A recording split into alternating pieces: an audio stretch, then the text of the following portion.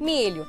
Tá aí um alimento versátil, né? Dá para ser doce, salgado, apimentado, virar pipoca, canjica, angu, curau, pamonha. Ah, e foi fazendo uma pamonha que outro prato tão gostoso quanto surgiu. A tal da Chica Doida. E é ela a nossa estrela de hoje. Vamos começar essa história do começo. Essa aí é a Petronilha. Ela e o marido, João Rocha, inventaram a receita há mais de 70 anos e colocaram o nome do prato em homenagem à funcionária deles, a Francisca, que caprichou no tempero. Espera aí que a filha do casal, a Maria Aparecida Ferreira, conta direitinho como é que de uma pamonhada nasceu a Chica Doida. Meu pai também tinha uma mania de misturar tudo. Ele colocava giló, ele colocava piqui né, e bastante pimenta. Meu pai falou, taca pimenta. Mandou minha mãe tacar pimenta que o cara foi provar o prato. Compadre do céu, meu trem é doido. Aí meu pai olhou, viu a Chica. Falei, então vai chamar é Chica Doida. A receita trouxe tanta popularidade para a família da Petronilha que em dezembro de 2020 foi inaugurado em Quirinópolis um mercado público municipal, o qual recebeu seu nome. Além disso, no local há um quiosque destinado à família para a comercialização da iguaria na versão original. A receita inventada assim, sem roteiro, sem medida, ganhou os vizinhos e, claro, o estado que ama coisas com milho. Dali para frente, em pouco tempo, o prata entrou no cardápio e virou fonte de renda de comerciantes espalhados por todo o campo. Essa pamonharia aqui de Goiânia existe há cinco anos e lá no começo eles ofereciam a receita original de Quirinópolis. Com o passar do tempo, os empresários foram adaptando essa receita.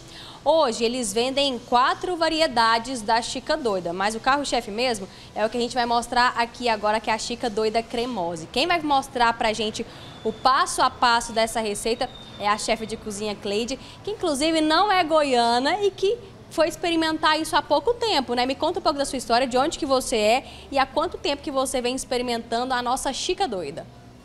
Eu sou do Acre, né? Atualmente eu vim embora para Goiânia, quando eu cheguei aqui, o meu primeiro emprego, né?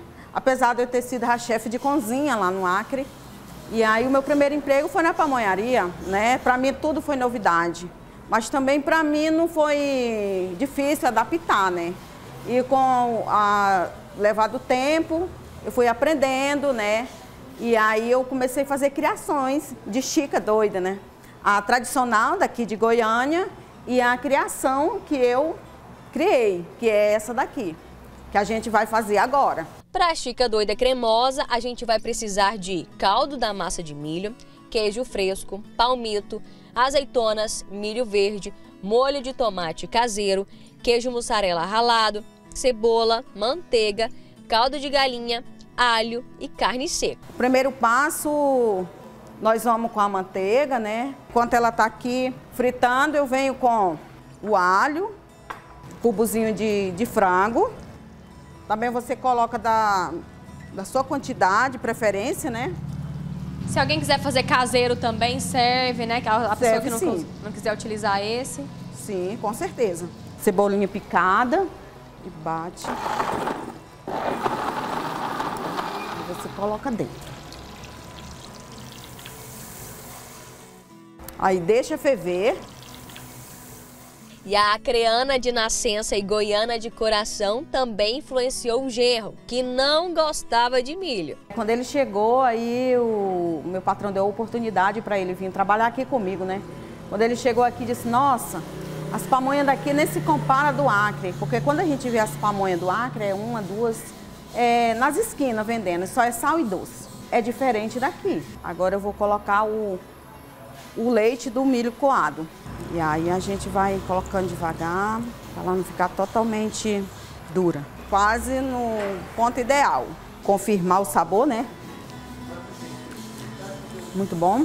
Caldo no ponto, bora pra montagem. Coloca a palha, aí nós vamos colocar a chica dentro. Ela tá um pouquinho mais mole, Deixa, tem que deixar ela assim, porque quando ela esfria, ela pega firmeza e ela não fica assim tão dura, né? Aí agora eu vou colocar catupiry dentro. Aí eu venho com a mussarela, palmito, o milho, queijo fresco, carne seca que ela dá aquele sabor bem delicioso. Agora vem o molho. Molho de tomate totalmente caseiro, que eu faço, né? E jogo por cima. Mais um pouco de mussarela. E aí eu venho com ela e cubro com a massa. É como se ela estivesse sendo embrulhada pelo milho, né? Isso. Pela massa de milho. Isso. Tem um pouquinho de cuidado, por causa que ela tá, tá bem cheia, né? Aí eu venho com a mussarela novamente. Que que é isso, hein? É, novamente e coloco em cima. Forno por 10 minutos e tá de comer com os olhos, né não? A pamonharia vende em média 30 dessas todo dia. Na última semana que fez bastante frio, as vendas triplicaram. Não deu para quem quis. Bom, e agora já pronta, a gente vai experimentar. Muito obrigada, viu, Cleide? A gente vai experimentar. Aqui nessa pamonharia, nenhuma das qualidades que eles oferecem vai a pimenta, né? A receita tradicional da Chica Doida vai a pimenta malagueta, mas essas que são oferecidas aqui não vão porque atende ao maior número de pessoas, né? Crianças, idosos e outras pessoas que nem sempre gostam de pimenta. E aí a pessoa pode colocar na hora de comer. Eu não sou muito fã não, então eu vou comer assim na receita tradicional aqui da Cleide. Vamos ver então como é que tá, vamos provar. E é a primeira vez que eu vou comer ah, nesse formato aqui que a Cleide fez. Vamos ver.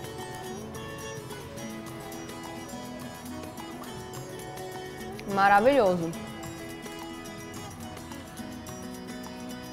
O prato é tão nosso que foi reconhecido como Patrimônio Cultural e Imaterial de Goiás pela Assembleia Legislativa e pelo Governo do Estado. A Chica Doida faz tanto sucesso que não é comercializada só nas pamonharias, mas também em bares, restaurantes e num gastropub, por que não? Aqui a receita entrou durante um festival gastronômico, virou sucesso e agora está no cardápio, né Alex? Como é que foi a aceitação do pessoal com essa receita aqui que você inventou? Isso, a aceitação foi bem boa e aí a gente decidiu colocar no cardápio uma espécie de releitura do prato tradicional. É, a gente adicionou o pastrame e aí também a gente colocou uma telinha de queijo para dar um toque especial, um queijo parmesão. E esse pastrame é feito de que jeito? Só para o pessoal de casa entender. O pastrame é um preparo que demora um, cerca de 10 dias para ficar pronto e ele é acrescentado de é, especiarias e tem um sabor bem característico. Bom, então vamos experimentar essa harmonização sugerida aqui pelo chefe Alex. Aprovado? Maravilhosa. Vamos ver com a IPA de rapadura.